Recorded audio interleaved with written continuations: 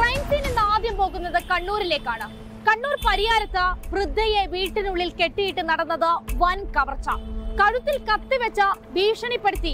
ശരീരത്തിൽ അണിഞ്ഞ ഒൻപത് പവൻ സ്വർണാഭരണങ്ങളും വീട്ടിൽ സൂക്ഷിച്ച ഇരുപതിനായിരം രൂപയും കവർന്നെടുത്തു. ഡോക്ടർ ഷക്കീറിന്റെ വീട്ടിലാണ് കഴിഞ്ഞ ദിവസം രാത്രി പന്ത്രണ്ട് മണിയോടെ മോഷണം നടന്നത്.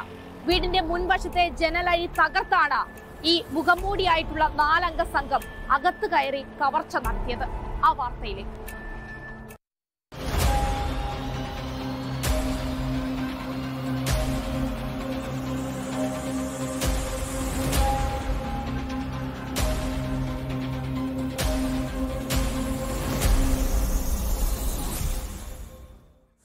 കണ്ണൂർ പരിയാരത്തുകാർ നന്നായൊന്നുറങ്ങിയിട്ട് മാസങ്ങളായി. പ്രദേശത്ത് കള്ളന്മാരുടെ സാന്നിധ്യമാണ് ഇവരുടെ ഉറക്കം കെടുത്തുന്നത്.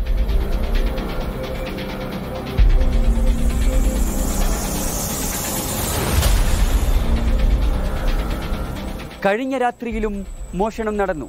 ചിതപ്പിലെ പൊയിലെ ഡോക്ടർ ഷക്കീറിന്റെ ഈ വീട്ടിലാണ് കവർച്ച നടന്നത്. മുൻപ് ഈ പ്രദേശത്ത് നടന്ന മോഷണം പോലെയായിരുന്നില്ല അത്. അറുപത്തിയഞ്ച് വയസ്സുകാരിയെ കെട്ടിയിടുന്നു. കഴുത്തിൽ കത്തിവെച്ച് കൊല്ലുമെന്ന് ഭീഷണി. ശരീരത്തിൽ അണിഞ്ഞിരുന്ന ഒൻപത് പവൻ സ്വർണാഭരണം ഊരി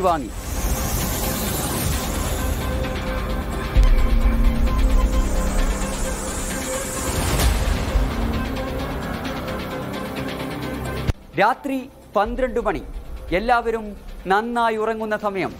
അപ്പോഴാണ് മുഖംമൂടിധാരികളായ അവർ നാലുപേർ ഈ ജനലഴി വളച്ച് വീടിനകത്തേക്ക് കടക്കുന്നത്.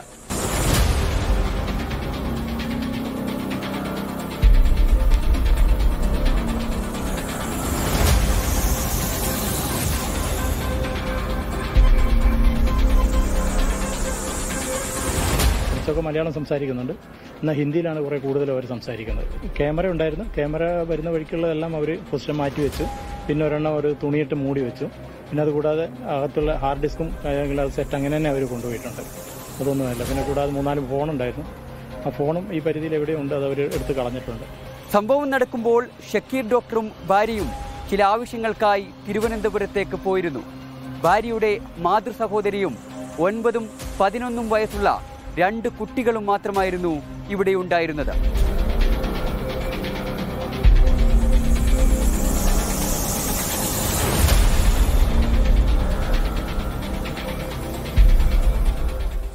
ഭാഗ്യത്തിനാണ് ഒരു ഉമ്മ ഇവിടുന്ന് രക്ഷപ്പെട്ടത്. ഒരു കുട്ടിയുടെ ജീവൻ രക്ഷപ്പെട്ടത്. കത്തി കഴുത്തിൽ കത്തി വെച്ചു മാലയും പൊന്നും പണവും എല്ലാം അപഹരിച്ചു കൊണ്ടുപോയത്. അപ്പോൾ ആ ഒരു വിഷയത്തിൽ പോലീസുകാർ കുറച്ചുകൂടി ഗൗരവമായി എടുത്തിട്ടുണ്ട്. നാട്ടിലെ ജനങ്ങളുടെ വീതി ഇത്രയും വേദനയില്ലല്ലോ ഓരോ വീട്ടുകളിലും ഉറങ്ങുന്നത്. മോഷണം പതിവായതോടെ പ്രദേശത്തെ മുക്കിലും മൂലയിലും വരെ രാത്രികാലങ്ങളിൽ കള്ളന്മാരെ പിടികൂടാൻ നാട്ടുകാർ നിലയുറപ്പിച്ചു. എന്നാൽ ഇവരെയൊക്കെ കണ്ണുവെട്ടിച്ചാണ് ഇന്നലെ ഇവിടെ കവർച്ച നടന്നത്.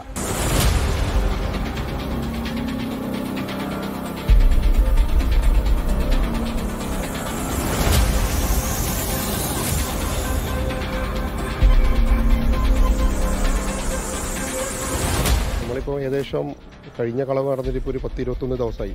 ആ ഇരുപത്തൊന്ന് ദിവസമായി ഇപ്പോൾ നമ്മൾ കുറച്ച് പേര് ഒരു സ്ക്വാഡൊക്കെ ഉണ്ടാക്കിയിട്ട് രാത്രി കാലങ്ങളിൽ ഉറക്കമൊഴിച്ച് രാവിലെ വരെ ഒരു സ്ക്വാഡാക്കിയിട്ട് ഓരോരോ ഭാഗത്ത് കുറച്ച് പേര് കുറച്ച് പേരായിട്ട് ഈ സെർച്ച് ചെയ്തുകൊണ്ടിരിക്കുന്നുണ്ട്. ഒന്നും ഇതുവരെ ഫലം കണ്ടിട്ടില്ല. ഞങ്ങൾ നിന്നത് ഒരു രണ്ട് അത് ഇന്നലെയും ഇന്നും ഏറ്റവും നിന്നിട്ടില്ല. ഇപ്പോഴാണ് മൂന്നാമത്തെ ദിവസം ഇവിടെ കളവ് നടന്നത്. വിവരം പറഞ്ഞ് പോലീസും ഡോസ് കോഡും ഫിംഗർ പ്രിന്റും എല്ലാം എത്തി. പിന്നാലെ പി ഹേമലതയും പരിശോധനകൾ പൂർത്തിയാക്കി എസ് പി മടങ്ങുമ്പോൾ പറഞ്ഞത് സംഭവം ഗൗരവത്തോടെ കാണുന്നു എന്ന പതിവ് പല്ലവിയാണ്. പറഞ്ഞാൽ മാത്രം പോരാ. പ്രതികളെ പിടികൂടാനും പോലീസ് ഒന്നുകൂടി ആത്മാർത്ഥത കാണിക്കണം. പോലീസിന്റെ ഭാഗത്ത് നിന്ന് നമ്മൾ ഡി എസ് പി പയ്യനൂരിന്റെ നേതൃത്വത്തിൽ ഒരു സ്ക്വാഡ് രൂപീകരിച്ചിട്ടുണ്ട്. ഒരു മാസീവ് കോമ്പിംഗ് എക്സസൈസും സി സി ടി വിന്റെ വെരിഫിക്കേഷൻ ചെയ്യാൻ തുടങ്ങിയിട്ടുണ്ട്. സോ ഇതേ ഒരു സെന്റർ ആയിട്ട് വെച്ചിട്ട് ഇവിടെ നിന്ന് ഒരു പത്ത് കിലോമീറ്റർ റേഡിയസിലുള്ള എല്ലാ സി സി ടി എല്ലാ എ എൻ പി ആറും കാര്യങ്ങളെല്ലാം വെരിഫൈ ചെയ്യുന്നുണ്ട്. അപ്പോൾ ഇതിന്റെ ഒരു സ്ക്വാഡ് വളരെ ശക്തമായിട്ട് നേരത്തെ തെപ്റ്റ് സ്ക്വാഡിൽ ഉണ്ടായിരുന്നൊക്കെ ഹാൻഡ് പിക്ക് ചെയ്ത് ജില്ലാതലത്തിൽ ഒരു സ്ക്വാഡ് ഉണ്ടാക്കിയിട്ടുണ്ട്. It's been been headed by the DYSP Payyanur.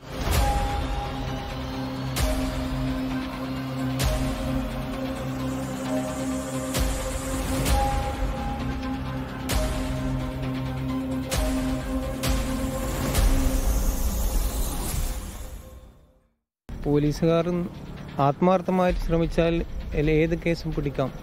പല പല കേസുകളും പല പല മോഷണങ്ങളും പിടിച്ച നാടാണ് നമ്മുടെ നാട്. പക്ഷേ ഈ പരിയാരം പഞ്ചായത്തിൽ എന്തുകൊണ്ട് പോലീസ് പിടിക്കുന്നില്ല എന്നുള്ളതാണ് നാട്ടുകാർക്ക് അറിയേണ്ടത്.